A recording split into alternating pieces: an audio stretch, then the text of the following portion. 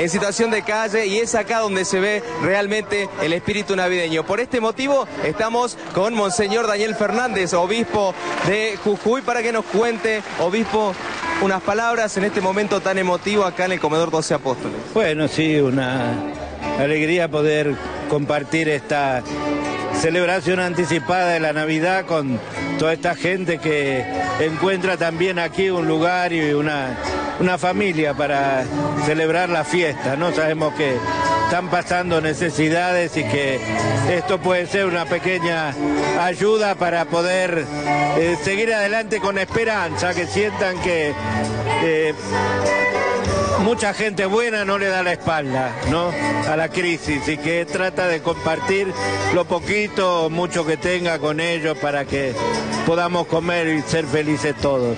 Obispo, año tras año se realiza este almuerzo para los hermanos en situación de calle. Este año notó que hay más gente.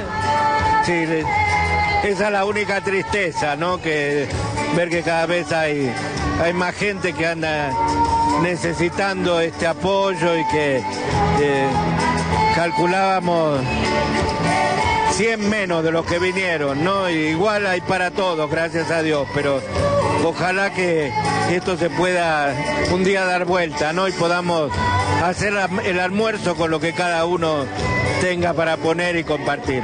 Bien, Monseñor, ¿cuál es el mensaje navideño para toda la familia jujeña? Pues recibir a Jesús de esta forma, ¿no?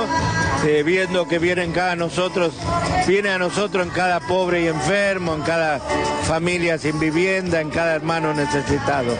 Que Dios los bendiga, feliz Navidad. Muchísimas gracias. Ahí escuchamos, chicos, en el piso, las palabras de Monseñor Daniel Fernández acerca de esta Navidad. Ustedes están escuchando de fondo la música hermosa que suena en estos momentos. Tenemos una fila bastante larga con eh, servidores, como así también hermanos que están. Y en estos momentos acá estamos con Rodrigo Chiliguay, uno de los hacedores de, esta, de este almuerzo navideño. Rodrigo, llegó el gran día. ¿Cuáles son las palabras? Ay, no, agradecido especialmente a Dios que nos da esta oportunidad de poder brindar este servicio de caridad a los que más necesitan, ¿no? Y verlo a ellos acá que están pasando en familia y se sienten contentos, es una alegría para todos los que forman parte del comedor. ¿Cuántos servidores te ayudaron?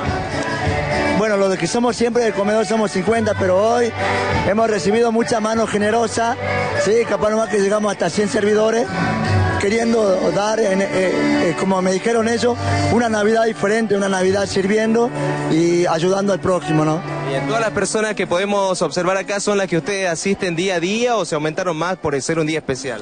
Eh, si se habrán aumentado sería entre 10 o 20 personas más nada más. El resto ya son de todos los viernes que recibimos, así que bueno, al ver los hechos que venían estaban ya esperando de temprano para poder entrar y comer.